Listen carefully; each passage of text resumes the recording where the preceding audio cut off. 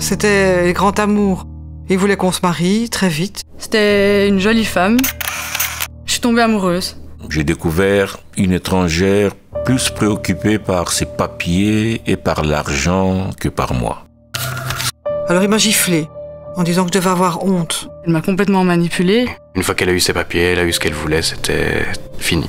N'oubliez pas que c'est votre vie, votre liberté et votre dignité qui sont en jeu.